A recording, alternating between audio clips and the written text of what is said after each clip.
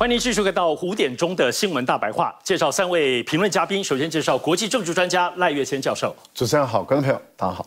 北京清华大学法学博士蔡正文委员，主持人好，大家好。以及退役少将厉正杰，也是前战争学院的教官厉将军。哎，上次好，各位观众大家好。我们首先这节先来看的，先看一下。正传媒的这个民调，他们公布的最新的民调，在上个小时我们谈，但是我们还是再看一下哦。那么这里头主要可以看到。果然还是像大家想象中的，那么赖清德的支持率的部分还是继续的下滑，那么柯文哲的部分继续上升，但是两个人相差只有零点一趴，二十九点九跟二十九点八。此外，比价还是亚裔的，还是说这个也是预期中的，但是这个数字是创新低啊。那么侯友谊来到十六趴哈，上一个呃最近的是十七趴，继续的下滑。我们可以比照对比这个 TVBS 同样。这个民调的整体的趋势，先看一下赖清德，赖清德的部分状况大概也都是还是三十趴左右。那么对于呃柯文哲的当中，TVBS 在上次最新的民调当中。柯文哲是跳升了十趴之多，而且甚至来到领先的局面。而侯友谊在当时已经确实就下滑，当时是二十三趴，当然现在在正传媒来到十六趴这个数字哦。那么这个部分当然都知道，侯友谊昨天在接受赵乐康先生的访问的时候呢，可以说是放大招，把五个主要诉求一次丢出来。这当中最关键的还是来自九二共识，终于说了哈。那么只不过一说出来，当然希望能够。表态让所有蓝营的基本盘能够回归，只不过当然毫无疑问，在第一时间当中的部分呢，大家在想，一旦丢出来的时候，是不是压力就来到柯文哲了？因为对于九二共识或包括像先前福茂货贸的部分，那么这的都会两个人应该就要来抢这个主导权了。但是在此同时，当然毫无疑问，第一时间绿营的部分马上就出来，直接一起打。九二共识了，那么林进现在就特别提到了说呢，压力会到柯文哲了。那么侯友谊支持九二共识，赖清德绝不支持啊。那么来看到张志豪也提到说，呃，宪法跟九二共识绑在一起，把台湾送到中国的口里，那么这些都不。都不意外。那么洪生汉也说，拉回到马英九时代，刘世芳说：“那么侯友谊，你是本土弟子，嘉义出身，你的本土意识何在？”各种的批评还有质疑。除此之外，当然现在究竟选战在慢慢接下来一如过往，是不是又会回到两岸，会回到所谓的这种戴红帽子这种可能性？因为最近可以看得到呢，又民进党方面又再次提出了中国是强化讨厌民进党的这个最。大的挑战哈，他们提到说，中国利用各式各样的信息渗透来强化讨厌民进党政府。他们现在把台湾的这个讨厌民进党，不是都是我们现在基层当中的反应，他把这个连结说是中国在主导的，中国在控制的，而这里头甚至还包括法令。那么针对于现在与政治方面有防境外敌对的这个所谓的反渗透法，最高检举奖金是两千万啊，有没有可能现在只要涉及到？这个所谓这种渗透，哎，刚刚的意思就是讨厌民进党、批评民进党这个部分，就是背后就是中国势力的渗透吗？而会不会法办呢？这里头有两千万元的奖金哈，包括选选举赌盘啊，介入这些。当然，现在检察总长也表达说，这个东西重金重金奖金，主要是要贺阻那一些要妨害选举的有心人，也有些安抚的部分说法了。但是无论如何，大家都知道，韩国于那个时候针对于王立强的。共谍案，当时把它连接跟扣在一起，那么营造一个整个包括在这个台湾方面对于中国乃至当时香港问题的这个部分的敌视，所以当时的这个共谍案已经接近四年下来，事后证实根本就是一个乌龙共谍案哈，所以包括当时的向心夫妇等等啊，整个人家被困在台湾这里，所以但是这个部分是不是在九二共识现在更明确了？侯友也说出来了，未来抹红的手法还是会持续的出现的。那么蔡英文在二零一九年当时也说，呃，那么中国介入台湾选举非常明显。随着每次选举当中，吴钊燮也说中国侵蚀我国的民主政体，各式各样的说法，我们现在还没有感受到，但是已经有这个氛围来了。不过讲到吴钊燮，又不得不说最新的一个在国外的啊，我们的台湾同胞发生的状况是什么呢？宋瑞士呃尤卫士昏迷，他们的这个家人哈。联络了我们在驻瑞士的这个外交的机构，希望他们能够协助搬行李。结果外交部说超出急难救助范围是怎么样？我想这好像不是第一次了啊！只要台湾同胞在外面发生了一些紧急的状况，我们驻外机构人员好像都还是这种行政的作态。另外还有一个非常大的事情，现在国际间引起很多讨论，是台湾的这个小马青少棒，它的冠军。因为，因为他们打败了日本嘛，我们来看这个过程。因为他打败了日本，可日本就有抗议，说是中华队，我们中华队哦违规使用球棒。那么，所以在这个过程里头，结果大会联盟撤销我们的这个冠军资格，由日本来递补。结果发生这个事情，怎么回事？结果竟然是中国大陆跟香港。有四个队伍力挺我们台湾出现的这个小将哈，那么抗议向大会陈情抗议，所以这里头台湾方面在先前这消息没有传出来之前是什么话都没有反应。那么现在当然中华棒协说已经在六月三十号呢跟美国总部提出申诉了，所以每次只要涉及到不是在政治操作的，呃，民进党可以政治操作，包括我们的同胞在外出现状况，包括我们的少棒队、我们的青少棒队在那里遭到人家欺负，我。我们都是漠视或坐视不管的吗？所以这里头其实包括王侯卫最近也踢爆哈，那么先前包括徐子徐宏庭也同时也都是这个消息哈，都踢爆说这里头有人举报我们对于一些台湾的资金跟半导体技术奉送给立陶宛，那么这里头是一个呃立陶宛要求我们要签订。呃，这个合作备忘录，然后呢，又狮子大开口，要求从六十五万欧元暴增到一千四百万欧元，而且要求我们要无偿提供八寸晶圆技术给立陶宛，而且说如果你们不提供的话，那我们要怎么怎么的，有威胁的口吻哈。所以台湾始终在这个凯子外交哈，因为当时徐宏庭他接到这个抗议，在那个时候我是当场在旁边，那王宏威这次又同时举出哈，所以真是让人看到整个民进党在这次选举当中。自己在外交当中自顾不暇，还持续在抹红。周明兄怎么看？我们的青少棒队在日本福岛县，而且在福岛县哦，对，比赛的时候得到冠军，击败了中国队、香港队、日本队得到冠军。结果日本队啊输了不甘心，说我们的球棒不合格，那就日本的主办单位竟然取消我们中华队的这种冠军资格。结果。帮我们去抗议的是中国三个球队，因为中国大陆有三个球队参加，香港队四个球队帮我们去抗议。请问一下，吴钊燮抗议了没有啊？蔡英文抗议了没有啊？还有王定宇啊、林俊宪啊、刘世芳啊，没有。谢长廷驻日代表人跑到哪里去啊？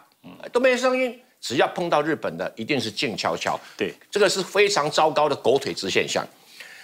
接下来啦，我们先问一个问题啦。啊，如果这个事情发生在中国上海，被取消资格，是不是全台湾岛要发动这个大抗议游行了？碰到日本的，乖的跟狗都不如啊，很可恶了哈。那到了立陶宛，到底给我们什么好处啊？帮我们建交吗？承认我们吗？都没有啊，双手空空啊，在台湾成立一个贸易代表处，还不敢讲立陶宛呢。那我们台湾这边设了办事处啊，还叫台湾人代表处，我们是流亡政府啊啊？怎么是台湾人代表处呢？是莫名其妙啊！台湾代表处就可以啊，台湾人代表处啊，你看在台湾流浪国代表处好了，莫名其妙就要塞了这么多钱，这么多钱去了。上权辱国卖台集团就是这些民进党。今天为什么大家那么恨民进党？就是胡作非为嘛。两件事情加起来都胡作非为，然后整天呢，哎呀，中国这里不对，那里不对，那为什么整天卖那么多货到中国到底赚钱呢？你民进党告诉不可以？所以这一场的二零二四的选举，就是支持民进党跟反对民进党的对决，并不是支持国民党跟反对国民党的对决，也不是支持民众党反对国民党的对决，是支持民民进党跟下架民进党的对决。那那个候选人只要站到反对民进党的最前线去，一定会得到民众的支持。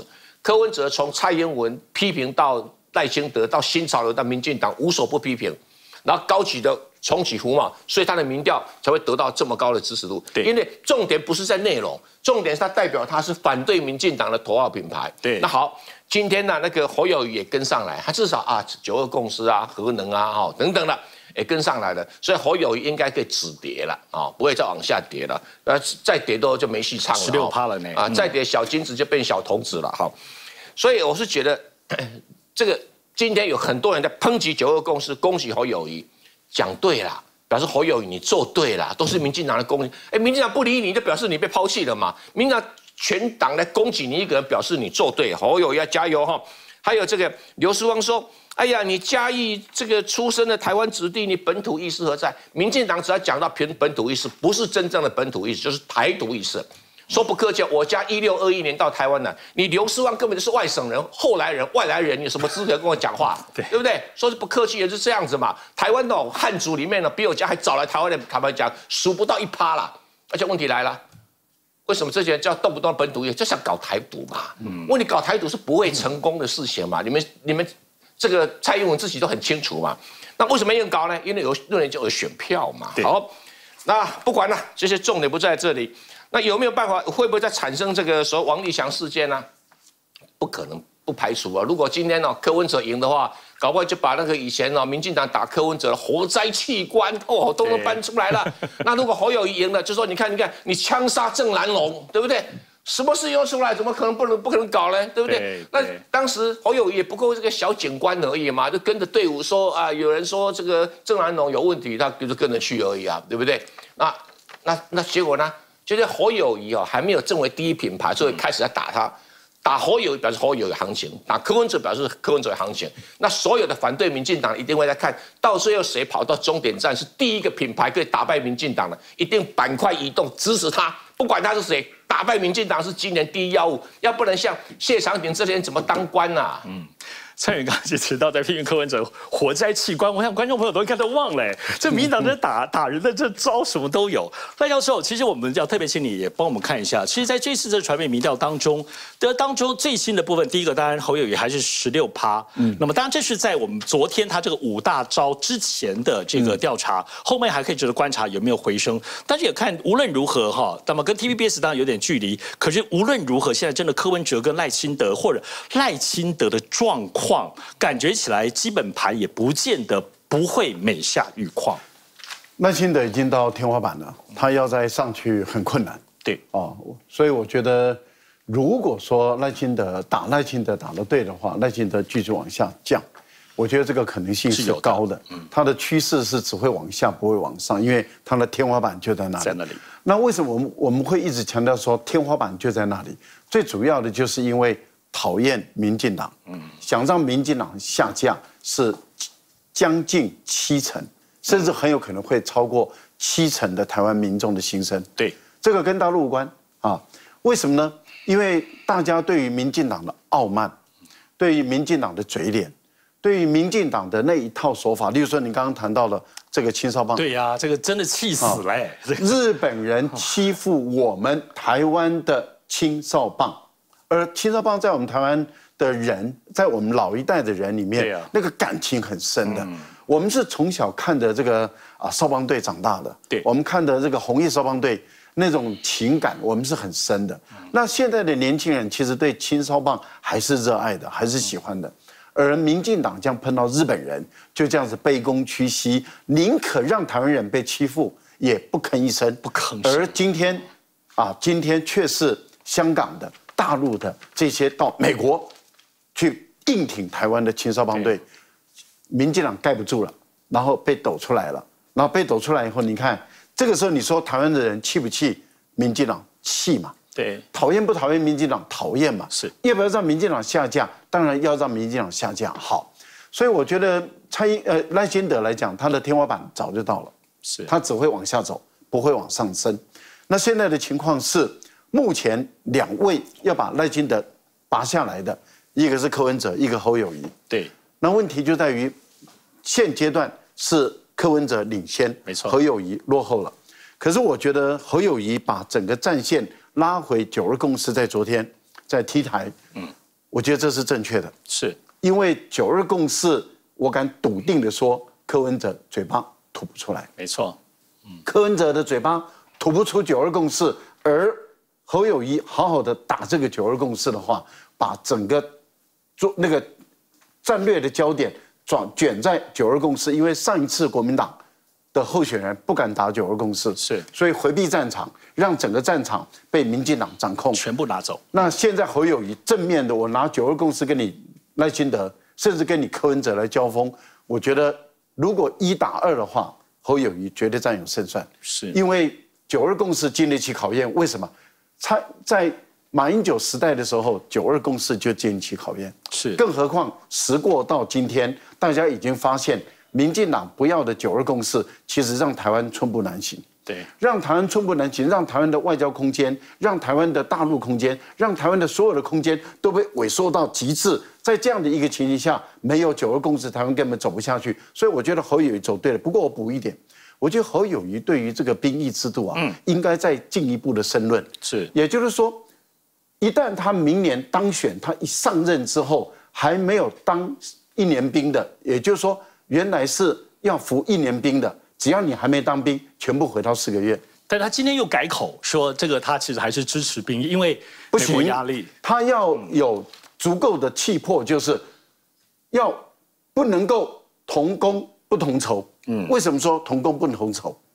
既然都要打仗，对，那怎么自愿役的拿三四五万块，而义务役的拿一两万块？是，这没有道理嘛？既然都要打仗，当然要同工同酬，要不就是所有连当兵的义务役的。也都拿四五万块，嗯，要不就是拿四个月啊，当四个月的兵，你就是拿几千块。是，我觉得侯友谊应该站出来说，我只要当选，全部回到四个月，全部回到四个月，而已经服一年的，是国家赔偿给你。对，蔡教授的意思其实就是在所有这些政策，不只是现在丢出来放大招，还要有进一步的说明，而且其实大家应该也都会问，所以各方面来讲，包括兵役的部分，将军怎么看？哦，如果说兵役的部分，我绝对赞成侯可侯友谊侯友谊讲的四个月。嗯，其实哈侯友谊不用回头了，也不用说收回这句话了，不要怕，就勇敢讲出来。我绝对支持你。以我在军中二十几年，从新兵训练带到实兵部队，我太清楚这兵役了。我我特别讲说，这个四个月改成一年哈，只有几个，只有五星。第一个，年轻人担心，对不对？年轻人呃忧心，对他的未来怎么样？他去当这一年兵怎么办？第二个家长担心，这一年如果万一打仗的话，我儿子怎么办？是对家长担心。第三个，我跟你讲，干部操心。嗯，为什么这些兵来以后，其实都是都是宝贝了哈。对，现在年轻人都是宝贝，到我营区里面来，有闹情绪的，对不对？想不开的，有有兵变的，然后你抄他又不敢抄，然后抄他他又给你动不动申诉一下，告一下。其实是干部在操心，嗯，再来老美开心，对不对？改成一一年的兵兵役，对，符合美国的这种需求，这个兵员目前好像增加了，结果老美好像很开心。最后我跟你讲，解放军是平常心，对不对？他根本不在乎你，他知道你训练不出来一个什么什么，提升不了多少战力嘛。我赖赖教授应该 提升不了多少，一个月，其实你说四个月变成一年。一年也不过是真的实际能够当兵的日期，扣掉休假就两百多天。你这这个再加上那个什么去救灾啦，干什么多不了多少，多不了多少战力。所以在这种状况之下，其实解放军他是平常心。那我特别讲哦，这个九二共识，我觉得这个侯友谊讲得很好，他可以把九二共识做一个很明确的说明，不要让民进党把九二共识污名化。民进党九二共识就是说一九二共识就等于是一国两制，没有人会赞同一种一国两制嘛。没错。啊，第二个国民党以前也没讲清楚，对不对？一中各表，那我们我们讲一中，那其实老共他们在讲课表。对对，要不然老共不讲课表，我们讲课表，他不讲课表。对。那今天我觉得侯宇讲的很好，就是说两岸对不对？我们互相不承认对方的这个主权，但是我们也不否认对方的治权。我觉得这个解释就解释的很好。另外，民进党很多的骗人政策现在都暴露出来了。核能政策对不对？二零二五非核化其实已经是骗人的。那现在来讲的话，侯友宜很勇勇敢的说出来，我们台湾就是需要核电，甚至重启核试。我觉得这是一个才真的是一个汉子的表现，一个汉子应该讲的话。是。